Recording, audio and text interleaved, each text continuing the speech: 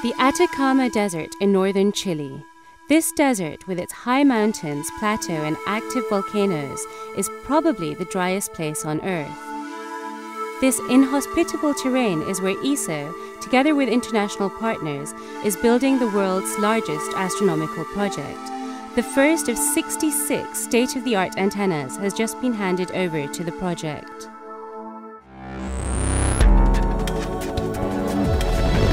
This is the ESOcast, cutting edge science and life behind the scenes of ESO, the European Southern Observatory, exploring the far reaches of the universe with our host, Dr. J, aka Dr. Joe Liske. Hello and welcome to the ESOcast. In today's episode, we're going to travel to the site of ALMA, the Atacama Large Millimeter and Submillimeter Array.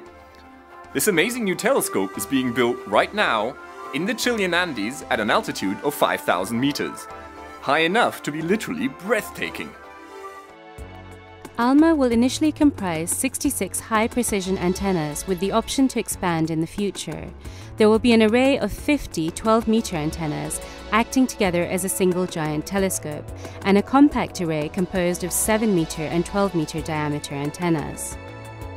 The first 12 meter diameter antenna, built by Mitsubishi Electric Corporation for the National Astronomical Observatory of Japan, one of the ALMA partners, has just been handed over to the observatory.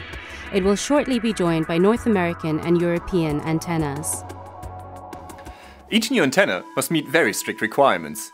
The surface of each dish must be accurate to the thickness of a human hair, and the pointing must be precise enough to pick out a golf ball at a distance of 15 kilometers. This antenna handover is a major milestone. The observatory team can now proceed to integrate the rest of the components, including the sensitive receivers that will collect the faint signals from space.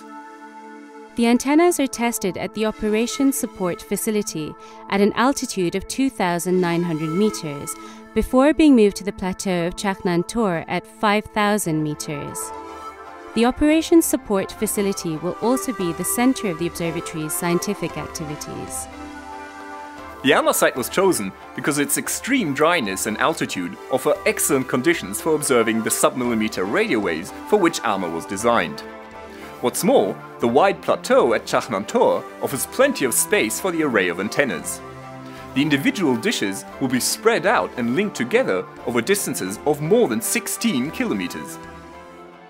The ALMA antennas must withstand the harsh conditions at Chajnantor, with strong winds, cold temperatures, and a thin atmosphere with half as much oxygen as at sea level. This forbidding environment also poses challenges for the workers building ALMA. Although each of the antennas weighs about 100 tons, they can be moved individually to different positions in order to reconfigure the ALMA telescope. Now this will be carried out by two custom designed transporters.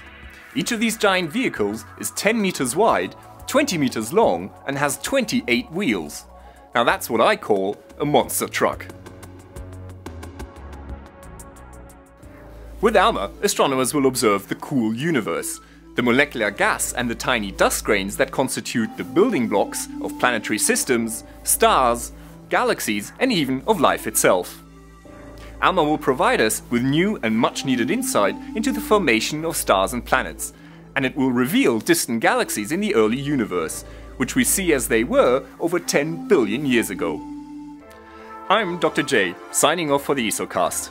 Join me again next time for another adventure in the far reaches of the universe. And now I really need some oxygen.